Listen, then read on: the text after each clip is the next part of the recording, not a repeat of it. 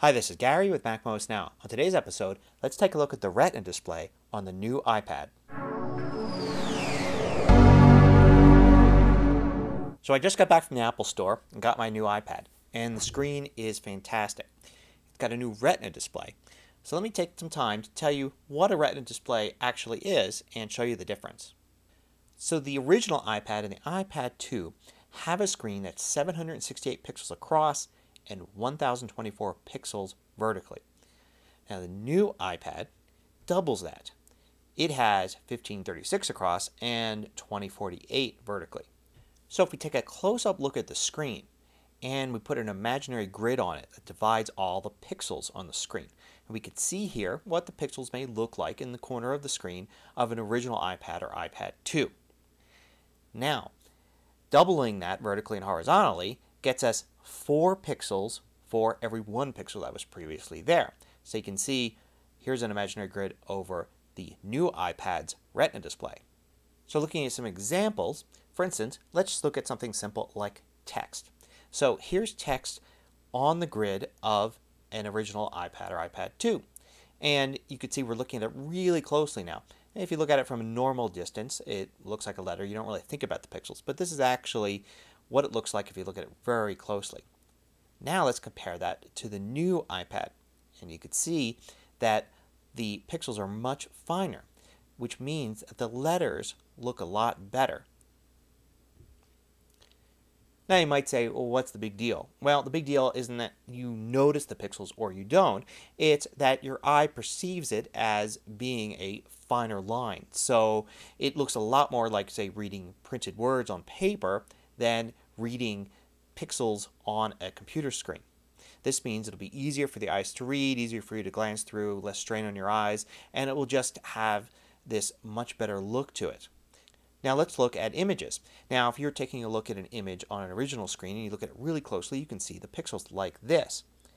Now if we go to what it looks like on the new iPad, you could see that since there's four pixels for every one on the previous versions, uh, you can see that there's a lot more finer detail in the image. Now we're looking very closely here.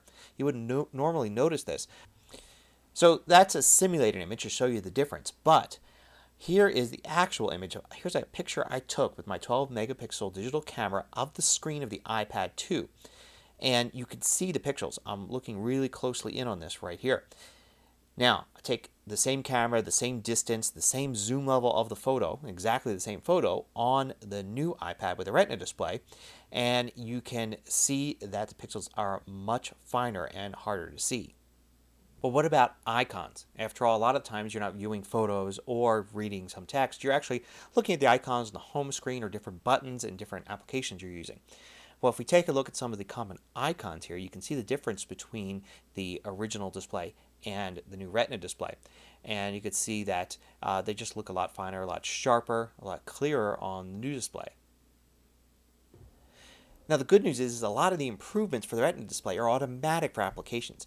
If an app hasn't been updated for the Retina display, it will still show text a lot sharper and may actually even show images sharper if the developer had originally included uh, nice images with the original. So a lot of your old apps are going to look better with the new iPad even if they're not updated.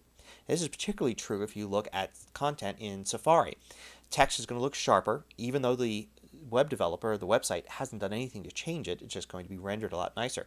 And images may even look nicer. If a high resolution image has been shrunk down on a web page, which is pretty common, say if you're looking at a photo gallery or something, uh, looking at it uh, on the new Retina display will actually show more detail in that image, detail that you couldn't have seen before using a regular display on your older iPad or even on your computer.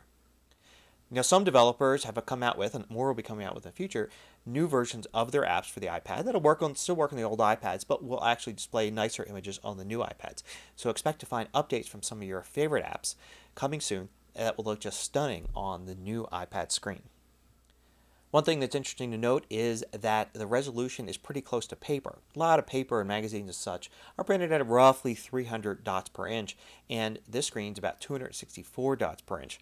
So the experience of reading, say, a magazine or what, looking at photos, reading text is going to be a lot closer to paper on this screen than on a typical computer screen or the older iPad. Also, viewing your photos is going to be a lot better. typically you take photos at several megapixels, like 3 megapixels, 5 megapixels, 8 megapixels, depending upon your camera. But then you look at them on an iPad screen or in your computer screen in a resolution that's equivalent to 1 or 2 megapixels. Well, now you're going to be looking at them at approximately 3 megapixels, which means they're going to look a lot closer to actually holding a photograph in front of you. And the same is true for looking at high def video. Matter of fact, it's going to be interesting filming video with the iPad 3. It's going to film it in 1080p. Your screen can actually display 1080p actually a little higher than it. So it's a case where you actually can see what you're shooting at the resolution. That's not true for even expensive handheld cameras. You're seeing it on a much smaller LCD and you only see the true high def when you view it later. So I hope you found this look at the new Retina display on the new iPad useful. Till next time, this is Gary with MacMost Now.